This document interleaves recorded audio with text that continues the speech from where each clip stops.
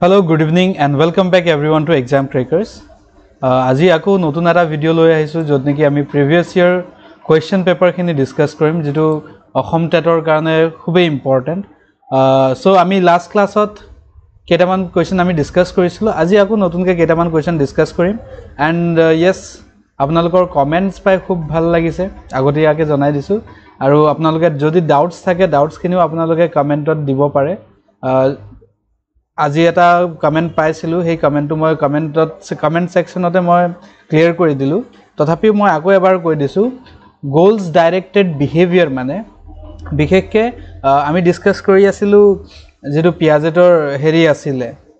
য়েছ century motor এইবোৰ যিটো তেখেতে ডেভেলপমেণ্টৰ ষ্টেজেছবোৰ দিছিলে তাত এটা ষ্টেজ আছে যিটো সাত বছৰৰ পৰা বাৰ বছৰলৈকে। চ' সাত বছৰৰ পৰা বাৰ বছৰলৈকে শিশু এজনৰ মেইনলি গ'ল ডাইৰেক্টেড বিহেভিয়াৰ্ছবোৰ থাকে। তাৰমানে কি শিশুৰ বিহেভিয়াৰবোৰ ইমান বেছি ইললজিকেল নহয়। তাৰমানে শিশুৱে যদি কিবা এটা বিহেভিয়াৰ প্ৰকাশ কৰে তাৰ কিবা নহয় কিবা উদ্দেশ্য থাকে। চ' তাকেই গ'ল ডাইৰেক্টেড বিহেভিয়াৰ বুলি কোৱা হয়।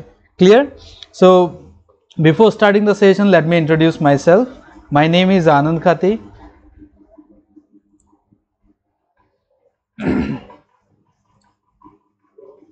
My name is Anand Khati. I have done my post graduation in education. Uh, I have qualified NTA, UGC NET, NE SLET আৰু যোৱা পাঁচ বছৰ ধৰি online as well as offline মোডত পঢ়াই আছোঁ আৰু অসম টেটৰ কাৰণে বিশেষকৈ যোৱা দুবছৰ ধৰি পঢ়াই আছোঁ বিভিন্ন অনলাইন প্লেটফৰ্মত including Unacademy as well as exam trackers and currently I am pursuing my P H D so' আপোনালোকে জনাব ভিডিঅ'জবোৰ কি পাইছে কেনেকুৱা পাইছে এণ্ড যিমান পাৰে শ্বেয়াৰ কৰি যাব। ঠিক আছে চ' আজিৰ ছেশ্যনটো আমি আৰম্ভ কৰিম। ফাৰ্ষ্ট কুৱেশ্যন ফাৰ্ষ্ট কুৱেশ্যন মানে এই এঘাৰ নম্বৰ বুলি আহিছে যিহেতু লাষ্ট যিখিনি গোটেই কুৱেশ্যন পেপাৰটো আছিলে সেই গোটেই কুৱেশ্যন পেপাৰখিনিকে এৰেঞ্জ কৰা হৈছিলে। তাৰপাছত লাষ্ট ভিডিঅ'ত মই দহটা কুৱেশ্যন অলৰেডি ডিছকাছ কৰিছিলোঁৱে আজি আকৌ যিমান পাৰোঁ আমি সময়মতে ডিছকাছ কৰি যাম। Okay so' concept of reinforcement is an important element of okay so' ৰিএনফৰ্চমেণ্টৰ concept কোনটো থিয়ৰীত প্ৰকাশ পাইছিলে বা কোনটো থিয়ৰীৰ মতে reinforcement was an important element কোনটো থিয়ৰীৰ ইম্পৰ্টেণ্ট এলিমেণ্ট হিচাপে ৰিএনফৰ্চমেণ্টক ধৰা হৈছে? অপশ্যন দিয়া আছে classical conditioning theory of learning operant conditioning theory of learning gestalt theory of learning বা trial and error theory of learning চাওক ইয়াত বহুতৰে আপোনালোকে যদি চাই কিছুমানৰ অকণমান চাগে কিবা এৰৰ হোৱাৰ কাৰণে কিছুমানে ভুলকৈ দিছে বাট ট্ৰায়েল এণ্ড এৰৰ যিটো থিয়ৰী অফ লাৰ্ণিং তাত কনচেপ্ট অফ ৰিইনফৰ্চমেণ্টে ইমান ফ'কাছ পোৱা নাছিলে। তাত আছিলে law of result law of effect বা law of you know practice বা ল অফ ৰেডিনেছ সেইকেইটাই খুব ইম্পৰ্টেঞ্চ পাইছিলে। গতিকে ট্ৰায়েল এণ্ড এৰৰ থিয়ৰী নহ'ব। ঠিক আছে? আৰু গেষ্টেল্টৰ যিটো থিয়ৰী আছিলে গেষ্টেল্টৰ থিয়ৰীত ৰিইনফৰ্চমেণ্টৰ কোনো ধৰণৰ কথা কোৱা নাই। তাত ইনচাইটফুল লাৰ্ণিঙৰ কথা কোৱা আছে। ঠিক আছে? নেক্সট ক্লাছিকেল কণ্ডিশ্যনিঙৰ লগত ৰিইনফৰ্চমেণ্ট জড়িত হৈ আছে। বাট ক্লাছিকেল কণ্ডিশ্যনিঙতো ষ্টিমুলাছৰ মাজৰ যিটো কানেকশ্যন সেই কানেকশ্যনটোৰ ওপৰত মেইনলি গুৰুত্ব দিয়া হৈছিলে। অপাৰেণ্ট কণ্ডিশ্যনিং থিয়ৰী এনেকুৱা আছিলে যিটো বি এফ স্কিনাৰৰ অপাৰেণ্ট কণ্ডিশ্যনিং থিয়ৰী এই বি এফ স্কিনাৰৰ অপাৰেণ্ট কণ্ডিশ্যনিং থিয়ৰীত কনচেপ্ট অফ ৰিইনফৰ্চমেণ্টক ইউ ন' ইম্পৰ্টেণ্ট এলিমেণ্ট হিচাপে ধৰা হৈছিলে। So' the correct answer will be operant conditioning theory okay operant conditioning theory will be the correct answer চাওক ইয়াত in operant conditioning reinforcement refer to anything that increase the likelihood that response will occur. So psychologist B.F. Skinner coined the term in 1937. So reinforcement or term itself term okay kune prathome coin korisile it was done by B.F. Skinner and B.F. Skinner was the propounder of uh, operant conditioning theory যেটো 1937 ত এখেতে ইয়াক coin korisile for example uh, reinforcement might involve presenting praise তাৰ মানে reinforcement মানে কি? reinforcement মানে আপুনি you know it's a kind of reward বুলি আমি ক'ব পাৰোঁ kind of reward or punishment that is reinforcement আমি যদি কাৰোবাক প্ৰেইজ কৰিছোঁ কাৰোবাক কিবা যদি আমি পুৰস্কাৰ দিছোঁ সেইটো এটা পজিটিভ ৰিইনফৰ্চমেণ্ট হ'ব। য়েছ যিকোনো এক্টিভিটিৰ এগেইনষ্টত তাক যদি আমি কিবা এটা পুৰস্কাৰ দিছোঁ সেইটো পজিটিভ ৰিইনফৰ্চমেণ্ট হ'ব। আৰু তাক যদি আমি পানিছমেণ্ট দিছোঁ বা সেই পুৰস্কাৰটো আমি ৰদ কৰি দিছোঁ তেতিয়া সেইটো কি হ'ব? নেগেটিভ ৰিইনফৰ্চমেণ্ট হ'ব। Yes so' reinforcement might involve presenting praise reinforcer immediately after the child put এৱেট their toys that is the response তাৰমানে শিশুৰ যিটো প্ৰতিক্ৰিয়া হ'ব সেই প্ৰতিক্ৰিয়াৰ এগেইনষ্টত আমি যাক তাক যদি পুৰস্কাৰ কিবা এটা দিওঁ তেতিয়াহ'লে সেই ৰেচপন্স বা সেই প্ৰতিক্ৰিয়াটো শিশু এজনে বাৰে বাৰে দেখুৱাব। কিয়নো তাক সেই প্ৰতিক্ৰিয়াৰ এগেইনষ্টত পুৰস্কৃত কৰা হৈছে ঠিক? So' this is known as reinforcement so' by reinforcing the desired behaviour with praise a child will be more likely to perform the same action again in again in future তাৰমানে আমি যিটো বিহেভিয়াৰ বিচাৰিছোঁ সেই বিহেভিয়াৰটো শিশুৱে যদি প্ৰকাশ কৰে তাৰ পাছত সেইমতে আমি যদি শিশুক কিবা নহয় কিবা পুৰস্কাৰ যদি দিওঁ তেতিয়াহ'লে শিশুৱে কি কৰিব সেই একেই বিহেভিয়াৰ বা সেই একেই আচৰণখিনিক আকৌ ৰিপিটেডলি প্ৰকাশ কৰিব। Yes reinforcement can include anything that strength or increase a behaviour ঠিক যিকোনো বস্তুৱে আমাৰ বিহেভিয়াৰ বা ষ্ট্ৰেংথক যদি ইনক্ৰিজ কৰে সেইটো আমাৰ ৰিইনফৰ্চমেণ্ট হ'ব। চে ফৰ এক্সাম্পল ক্লাছত ষ্টুডেণ্ট এজনে ভাল কৰাৰ কাৰণে তেখেতক পেন গিফ্ট দিয়া হ'ল বা বেলেগ টিচাৰে প্ৰেইজ কৰিলে তেখেতক বা এছেম্বলিত প্ৰেইজ কৰিলে that will work as a reinforcement yes because সেই প্ৰেইজটো পোৱাৰ পাছত বা সেই প্ৰাইজ পোৱাৰ পাছত ঠিক আছে বা সেই ৰিকগনিশ্যনটো পোৱাৰ পাছত শিশুটোৱে কি কৰিব শিশুটোৱে বাৰে বাৰে সেই একেই এক্টিভিটিজখিনি কৰিবলৈ ট্ৰাই কৰিব। চ' ৰিইনফৰ্চমেণ্টে কি কৰে আমাৰ বিহেভিয়াৰখিনিক ৰিপিট কৰি তোলে। আৰু যেতিয়া বিহেভিয়াৰ ৰিপিট হ'ব ডিজায়াৰ্ড বিহেভিয়াৰ যিটো আমি বিচাৰিছোঁ। বা চে ফৰ এক্সাম্পল যদি আনডিজায়াৰ্ড বিহেভিয়াৰটো আমি যদি ডিক্ৰিজ কৰিব বিচাৰিছোঁ তেতিয়া ৰিইনফৰ্চমেণ্ট থাকিব নালাগে বা নেগেটিভ ৰিইনফৰ্চমেণ্ট যদি দি দিওঁ শিশু এটাই যদি কিবা বদমাচি কাম কৰিছে তাক যদি আমি পানিছমেণ্ট দিওঁ তেতিয়াহ'লে কি হ'ব সেই কামটো ই লাহে লাহে লাহে নাইকিয়া কৰিব। য়েছ চ' নেগেটিভ ৰিইনফৰ্চমেণ্ট যদি থাকে, তেতিয়াহ'লে কাম নাইকিয়া কৰিব। আৰু পজিটিভ ৰিইনফৰ্চমেণ্ট যদি থাকে, তেতিয়াহ'লে কাম আকৌ ভালকৈ কৰিব। In a classroom setting example type of reinforcement mind include giving praise letting student out of an unwanted work of providing token, rewards, candy etc clear? Next in project method of teaching, the role of teacher is, so project method era teaching পদ্ধতি হয়, শিক্ষণৰ এক পদ্ধতি বুলি কোৱা হয়। পৰিকল্পিত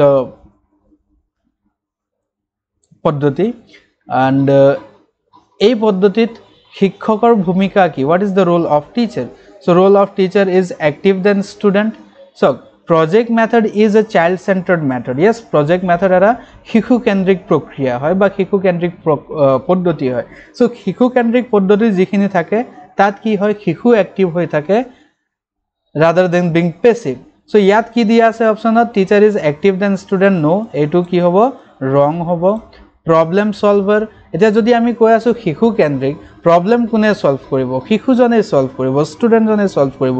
টিচাৰে problem solve কৰি নিদিয়ে। টিচাৰে কি কৰিব? জাষ্ট গাইড কৰিব। So' this will be also' again wrong authoritative হ'ব বুলি কৈছে। অথৰিটিটো টিচাৰ নহয়।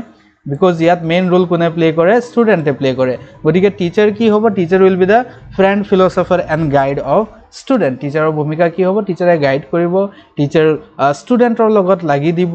লগতে teacher will be the philosopher for the student okay so' ইয়াত দিছে যে project method involves investigation discovery and finding out something which was not known to the student. And investigation is much more than the repetition of standard experiment. Here the student is to decide what experiment are necessary and how it is going on so ultimately ki hoy project method is activity based method jot niki student actively tat engage hoi thake etu eta child centric method hoy jaga ami shikhu centric paddhati buliu kau clear and project method is based on the pragmatism philosophy and project method of profounder kun asile william h kilpatrick okay and he was the student of John Dewey.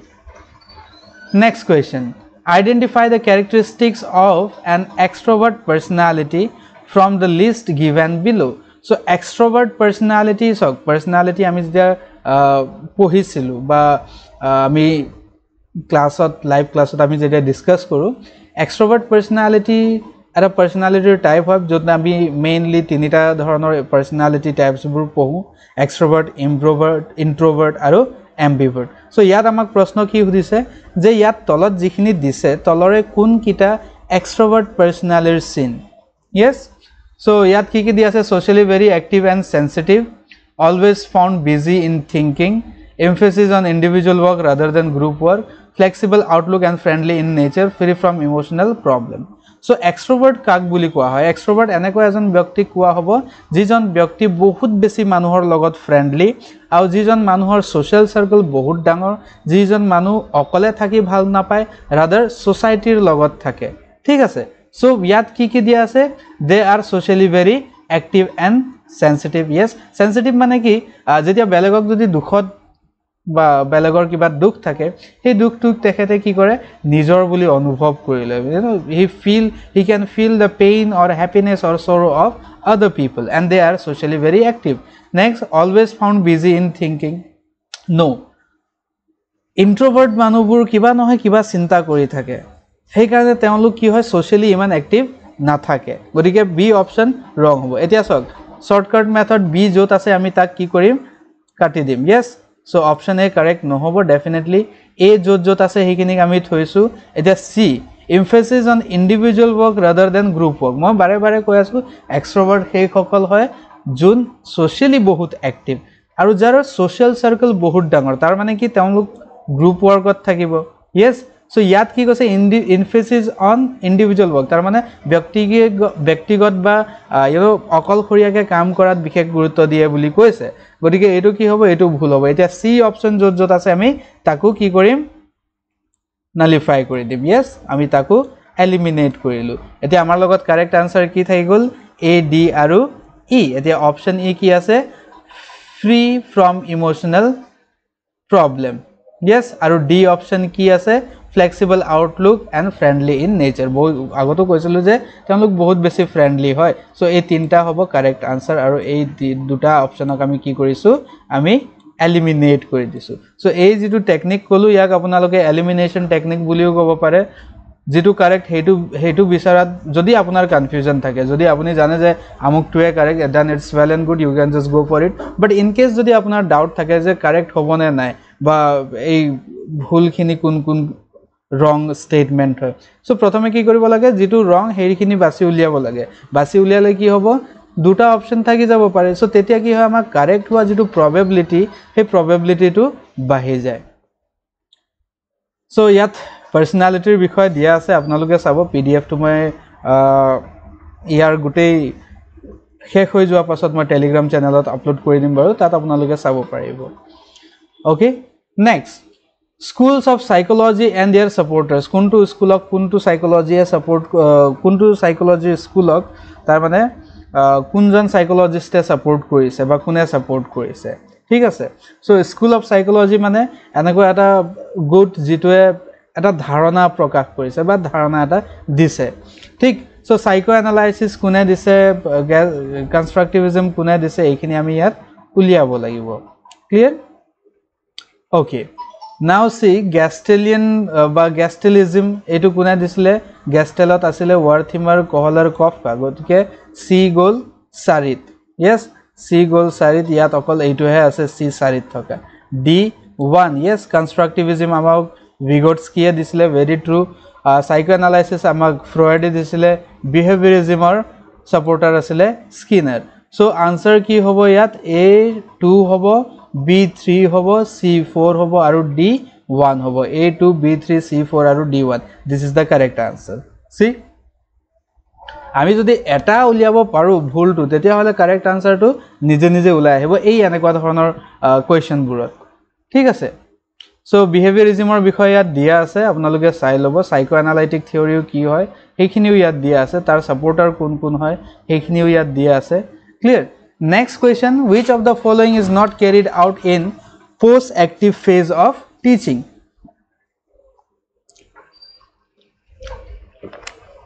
so' আপোনালোকৰ যদি কোনোবাই B Ed কৰি আহিছে বা education পঢ়িছে আপোনালোকে নিশ্চয় গম পাব যে post active phase of teaching কাক কয় pre active phase of teaching কাক কয় আৰু এক্টিভ ফেজ অফ টিচিং কাক কয়। ঠিক post active phase of teaching টিচিঙৰ সেই ফেজ যিটো টিচিং একচুৱেলি যিটো টিচিং একশ্যন টিচিং একশ্যন শেষ হোৱা পাছত তাৰমানে পঢ়োৱাটো অকল শিক্ষক এজন যদি ক্লাছৰুমৰ পৰা ওলাই যায় তেতিয়া শিক্ষকৰ দায়িত্ব শেষ হৈ নাযায়। তাৰ পাছতো শিক্ষকৰ কিছুমান ভূমিকা থাকে। চ' তাৰ পাছতো শিক্ষকে শ্ৰেণীকোঠাৰ পৰা ওলাই যোৱাৰ পাছতো শিক্ষকে কিছুমান কাম কৰিব লাগে। য়েছ কিছুমান এক্টিভিটি কৰিব লাগে। চ' সেই মুহূৰ্ত যিটো ক্লাছৰুমৰ পৰা পাঠদান কৰি ওলাই অহাৰ পাছত আকৌ যিখিনি এক্টিভিটিছ টিচাৰে কৰিব লাগে সেই পাৰ্টিকুলাৰ সময়ছোৱা কি বুলি কোৱা হয়? Post active phase of teaching বুলি কোৱা হয়। So' post active phase of টিচিঙৰ সময়ত কোনটো কাম শিক্ষকে নকৰে বুলি কৈছে। Yes so' defining the real behaviour change এইটো কৰে। য়েছ কিয়নো পঢ়োৱা পাছতহে আমি গম পাম যে ষ্টুডেণ্টৰ তাত বিহেভিয়াৰেল চেঞ্জ কিমান আহিছে ষ্টুডেণ্টে কিমান বুজি পাইছে ৰাইট চ' সেইটো আমি পষ্ট এক্টিভতে কৰিব লাগে। পঢ়োৱা আগতেতো আমি কৰিব নোৱাৰোঁ। য়েছ বিফৰ টিচিং উই কান ডিচাইড যে ষ্টুডেণ্টে বুজি পাইছে নে নাই। বা পঢ়াই থকা অৱস্থাতো আমি ডিচাইড কৰিব নোৱাৰোঁ যে ষ্টুডেণ্টে বুজি পাইছে নে নাই বা ষ্টুডেণ্টৰ চেঞ্জ আহিছে নে নাই। এইটো আমি কেতিয়া ডিফাইন কৰিব পাৰিম? পঢ়োৱা পাছত পঢ়াই শেষ হৈ যোৱাৰ পাছতহে আমি ষ্টুডেণ্টৰ তাত কিমান চেঞ্জেছ আহিছে সেইখিনি আমি ডিচাইড কৰিব পাৰিম চ' পষ্ট এক্টিভ ফেজত এইটো থাকিব। Selection of appropriate evaluation technique তাৰমানে মূল্যাংকনৰ পদ্ধতিটো মূল্যাংকন কেতিয়া কৰা হয়? মূল্যাংকন পঢ়োৱা পাছতহে কৰা হয়। গতিকে মূল্যাংকনৰ টেকনিক চুজ কৰাটো পঢ়োৱা পাছত কৰা এটা activity right next changing the technique and strategies of teaching so' চাওক changing the technique and strategy of teaching say for example মই কিবা এটা পঢ়ালোঁ ক্লাছত ঠিক আছে? যে ক্লাছত পঢ়াই মেলি ওলাই আহিলোঁ তাৰপাছত মই দেখিলোঁ যে ল'ৰা ছোৱালীয়ে বুজি পোৱা নাই। এইবাৰ মই কি কৰিম? মই আকৌ টেকনিকবোৰ চেঞ্জ কৰিম। চ' এইটো কেতিয়া হৈছে? টিচিং কৰি অহা পাছত হৈছে। গতিকে চেঞ্জিং টেকনিক এণ্ড ষ্ট্ৰেটেজিও টিচিং কৰি অহা পাছত হয়। গতিকে এইটো পষ্ট এক্টিভত থাকিব এইটো পষ্ট এক্টিভত থাকিব। ইয়াত এটা অপশ্যন আছে ছেটিং অফ এডুকেশ্যনেল অবজেক্টিভ শিক্ষাৰ উদ্দেশ্য কি হ'ব? সেইটো আমি শিক্ষা দান কৰাৰ পাছত নিৰ্ধাৰ কৰিলে নহ'ব। গতিকে এইটো আমি কেতিয়া কৰিব লাগে? Pre active phase of teaching তাৰমানে শিক্ষা দান কৰা আগতেই আমি শিক্ষাৰ উদ্দেশ্যখিনি নিৰ্ধাৰ কৰিব লাগে। গতিকে ইয়াত কাৰেক্ট অপশ্যন কি হ'ব? Option D this is not done তাৰমানে ছেটিং অফ এডুকেশ্যনেল অবজেক্টিভছ বা is or are not carried out in post active phase of teaching clear so' ইয়াত পষ্ট এক্টিভ ফেজ অফ টিচিঙত কি কি হয়? ধুনীয়াকৈ দিয়া আছে। ইভালুৱেশ্যন এক্টিভিটিছবোৰ হয়। Summing of teaching task evaluation মানে মূল্যাংকন কৰা হয়। চামিং অফ টিচিং টাস্ক টিচিঙত কি কি হ'ল কোনে কি বুজি পালে কেনেকুৱা হ'ল সেইখিনি গোটেই নিৰ্ধাৰ কৰা হয়। ঠিক আছে নেক্সট কুৱেশ্যন আছে মেছলো থিয়ৰী অফ মটিভেশ্যনৰ পৰা। এইটো এই কুৱেশ্যনখিনি অকল এল পি বা ইউ পি টেটৰ কাৰণে নহয় মই বাৰে বাৰে কৈ আছোঁ। ইয়াত ন' ডাউট কুৱেশ্যনখিনি এল পি বা ইউ পি টেটৰ পৰীক্ষাৰ পৰা লোৱা হৈছে। বাট ইয়াৰে কিছুমান বস্তু হাই স্কুল বা হায়াৰ ছেকেণ্ডেৰী টেটতো আছে। ন' ডাউট ইয়াত বস্তুখিনি একেবাৰে চিম্পল লেংগুৱেজত আছে বাট একেখিনি বস্তুৱে হায়াৰ স্কুল হাই স্কুল বা হায়াৰ ছেকেণ্ডেৰী টেটতো আহিব। তাত কি হ'ব? জাষ্ট কুৱেশ্যনখিনি অকণমান কমপ্লেক্স হ'ব। আৰু এই বস্তুখিনি যদি আপোনালোকে বুজি পায় তেতিয়া সেইখিনিতো বা যিটো হাই ষ্টেণ্ডাৰ্ডৰ যিখিনি থাকিব হাই স্কুল বা হায়াৰ ছেকেণ্ডেৰী লেভেলত সেই তাতো বস্তুখিনি বুজি পোৱাত আপোনালোকক সহজ হ'ব। গতিকে এই ভিডিঅ'ছখিনি আপোনালোকে চাবলৈ নাপাহৰিব বেছি সময় নালাগে। এটা ভিডিঅ' খুব বেছি আধা ঘণ্টামানৰ থাকে। গতিকে আপোনালোকে চাব। বুজিবলৈ চেষ্টা কৰিব মই কি বুজাই আছোঁ। মই ইয়াত অকল আনচাৰখিনি এফালৰ পৰা কৈ যোৱা নাই। মই আনচাৰ কিয় আহিছে মই সেইখিনিও বুজাই গৈ আছোঁ। ঠিক আছে? চ' ইয়াত মেছলো থিয়ৰী অফ মটিভেশ্যনৰ যিটো হায়াৰ কি ছিকুৱেঞ্চ তাৰ লগত ৰিলেটেড কুৱেশ্যন দিয়া আছে। So' which of the following is correct sequence of needs according to Maslow theory of motivation so' Maslow theory of মটিভেশ্যনৰ মতে কোনটো কাৰেক্ট নিডছ হয়? চাওক প্ৰথমে আমাক কি লাগে? ছেফটি বিচাৰে নে আপোনাৰ পেট ভৰাটো আপুনি বিচাৰে? নে মৰম চেনেহ বিচাৰে? মৰম চেনেহ কাকো নালাগে। য়েছ প্ৰথমে আমাক কি লাগে? পেট পূজা কৰিব লাগে। নহয় জানো? কিয়নো চাওক মানুহৰ যদি পেটত অন্ন নাযায় পেটত যদি দানা নাযায় তেতিয়া মানুহ চুৰ কৰা বা চুৰি কাণ্ডত লিপ্ত হোৱালৈকে মানে ৰিস্ক ল'বলৈ ৰেডি হৈ থাকে।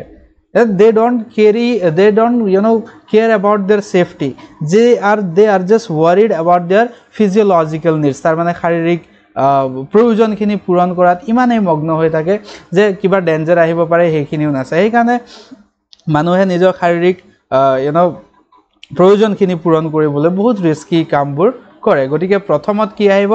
ফিজিঅ'লজিকেল নিডছ এতিয়া ইয়াত ফিজিঅ'লজিকেল নিডছ দুটা আছে চ' চাই লওঁ কোনটো হ'ব। নেক্সট ছেফটি নিডছ য়েছ আপোনালোকে বৰ্ফি মুভিখন চাইছে যদি তাত এটা চিন আছে য'ত ৰণবীৰ কাপুৰে প্ৰথমে এই ছোৱালীজনীৰ নাম কি আছিলে জানো? মই পাহৰি থাকিলোঁ। এলিয়ানা ডিক্ৰুজ চাগে। সেই ছোৱালীজনীৰ হাত ধৰি থাকে যিটো হেৰি নহয় এবনৰ্মেল নহয় মানে তাত প্ৰিয়ংকা চোপ্ৰাক এবনৰ্মেল হিচাপে দেখুওৱা থাকে বাট সেই বেলেগ ছোৱালীজনীৰ হাত তাত ধৰি থাকে। এণ্ড এই লেম্পৰ প'ষ্টটো লাইটৰ প'ষ্টটো কাটি দিয়ে। কাটি দিওঁতে ছোৱালীজনীয়ে সেই নৰ্মেল ছোৱালীজনীয়ে ৰণবীৰ কাপুৰৰ হাত এৰি পলাই গুচি যায়। কিয়? তাইক তাইৰ কাৰণে লাভ এণ্ড বিলংগিংছ পাছত। ছেফটি প্ৰথমত লাগে। য়েছ যদি মই গম পাওঁ যে ইয়াত মই মৰম চেনেহ দেখালে মৰি যাম তেতিয়াহ'লে তাত মৰম চেনেহ দেখাব নালাগে। প্ৰথমে কি লাগে আমাক? প্ৰথমে ছেফটি লাগে। য়েছ শাৰীৰিক প্ৰয়োজনখিনি পূৰণ হোৱাৰ পাছত আমাক ছেফটি লাগে। আমি ছেফ থাকিব বিচাৰোঁ। তাৰপাছত আমি চাম লভ এণ্ড বিলংগিংছ মৰম চেনেহ তাৰপাছত আহিব। তাৰপাছত আহিব ষ্টিম নিডছ তাৰপাছত আমি মানে সন্মান বিচাৰোঁ। ঠিক আছে। বা নিজক প্ৰতিষ্ঠা কৰিবলৈ বিচাৰোঁ। তাৰ পাছত নেক্সট আহিব একচুৱেলাইজেশ্যন নিডছ তাৰ মানে আত্ম উপলব্ধি কৰা আত্ম উপলব্ধি কৰা একেবাৰে শেষত থাকে। গতিকে ইয়াত কাৰেক্ট অপশ্যন কি হ'ব? Correct option will be option B clear next question ইয়াত মই দি দিছোঁ physiological safety belongings and affection বা মৰম চেনে বা love and belongings cognitive knowledge that means self esteem য'ত আপুনি নিজক জ্ঞানী বুলি ক'ব পাৰে। য়েছ তাৰপাছত থাকে ছেল্ফ একচুৱেলাইজেশ্যন আত্ম উপলব্ধি বুলি যাক কোৱা হয়।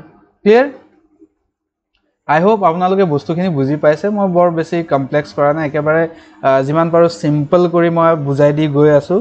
Next when a problem has more than one probable solution and the thinking process which create those probable solution for the problem is called এতিয়া ইয়াত প্ৰশ্ন দিছে যেতিয়া এটা সমস্যাৰ কাৰণে এটা সমস্যা ধৰি লওক সমস্যা এটা আছে ঠিক? আৰু সেই সমস্যাটো আমি বিভিন্ন ধৰণে সমাধান কৰিব পাৰোঁ। সেই সমস্যাটো সমাধান কৰা বিভিন্ন ধৰণৰ উপায় আছে।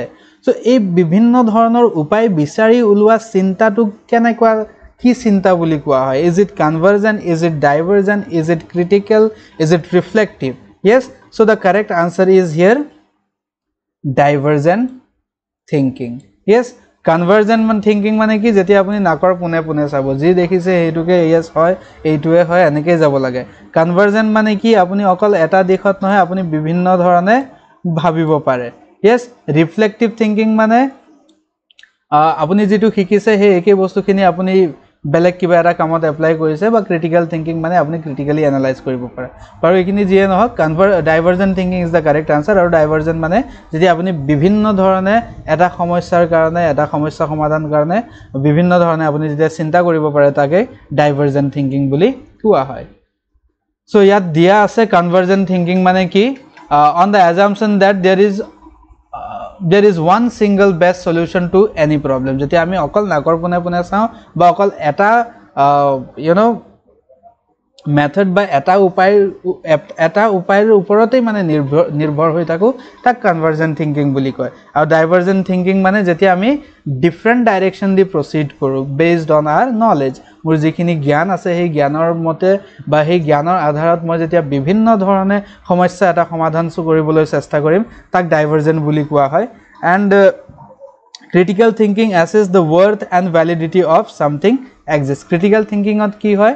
আমি ৱৰ্থ এণ্ড ভেলিডিটি তাৰমানে এতিয়া ইয়াত চে ফৰ এক্সাম্পল কোনোবাই মোক কৈছে যে এই পেনটোৱে আপোনাক বহুত সহায় কৰিব এই পেনটোৰ দি আপুনি একদম এৰোপ্লেন উৰাব পাৰিব। য়েছ এতিয়া মোক যদি কোনোবাই এনা এনেকৈ কয় মই যদি কওঁ যে অঁ ঠিক আছে মই বোলে এৰোপ্লেন উৰাব পাৰিম মই এইটো পেনটো লৈ লৈছোঁ। This is not critical thinking critical thinking কেতিয়া হ'ব যে যিখিনি কথা কৈ আছে এই কথাখিনি সঁচা হয় নে নহয়? সেই কথাখিনিক জাজ কৰিব পৰা কেপাচিটিটো এই এইটোক কি বুলি কয়? Critical thinking yes critical thinking is deciding rationally what to or what not to believe clear reflective thinking বুলি দিয়া আছে।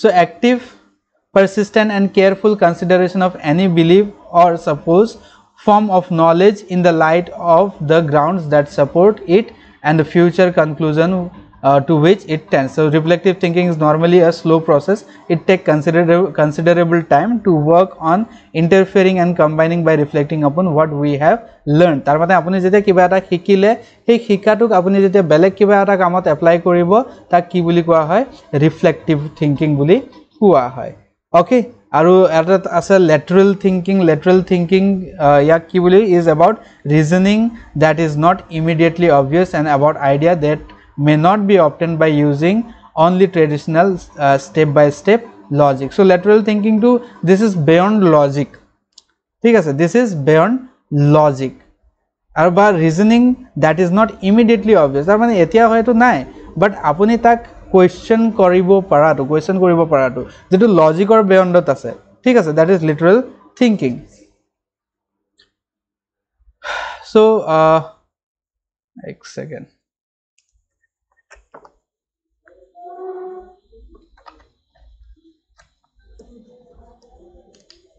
Next question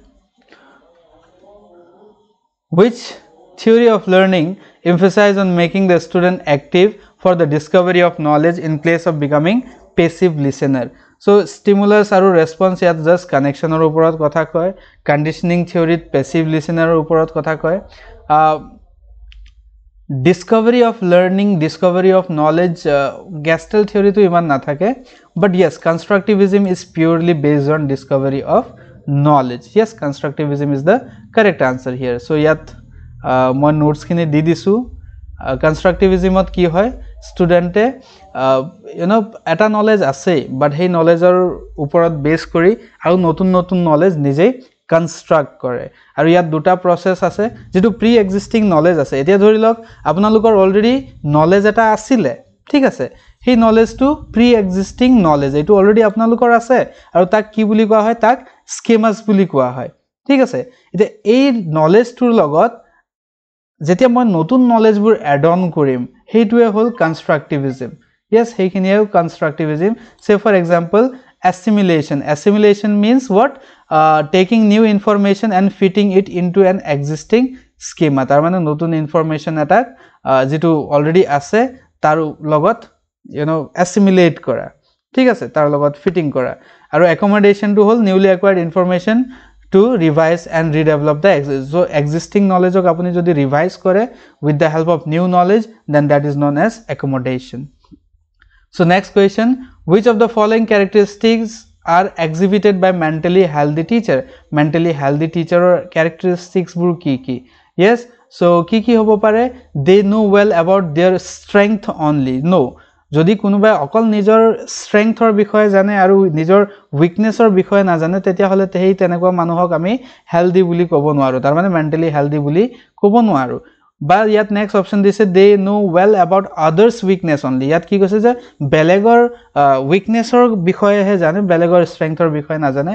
They are also' not healthy they find means of correcting their own mistakes yes this is correct answer so' C option ক'ত ক'ত আছে? আমি সেইখিনি চাই লওঁ। য়েছ চি অপশ্যন ইয়াত আছে। বাকী এ আৰু বি য'ত আছে আমি তাক একচেপ্ট নকৰোঁ। গতিকে চি এইটোত আছে। D they are satisfied with their job yes next they accept failure very easily তাৰমানে তেওঁলোকে ফেইল হৈছোঁ বুলি কান্দি নাথাকে ফেইল হ'লোঁ ইয়াত ঠিক আছে নেক্সট টাইম আকৌ ট্ৰাই কৰিম। এই এনেকুৱা ধৰণৰ মেণ্টেলিটি থাকে তেওঁলোকৰ। গতিকে চি ডি আৰু E will be the correct answer here okay so' next who develop the theory of creativity sorry level theory of creativity so' level theory of creativity কোনে ডেভেলপ কৰিছিলে। Level theory of creativity was developed by A I Taylor A I টেইলাৰে level theory of creativity develop কৰিছিলে। তেখেতৰ মতে ক্ৰিয়েটিভিটিৰ কিছুমান level আছে। Expressive creativity technical creativity inventive creativity innovative creativity আৰু emergent creativity okay so' next ক্লাছত আমি এই ক্ৰিয়েটিভিটিৰ লেভেলখিনি অকণমান ডিছকাছ কৰিম।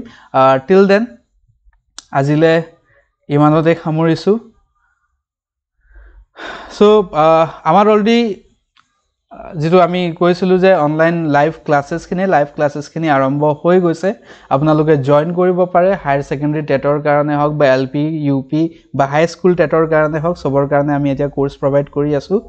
গতিকে আপোনালোকে জইন কৰিব পাৰে।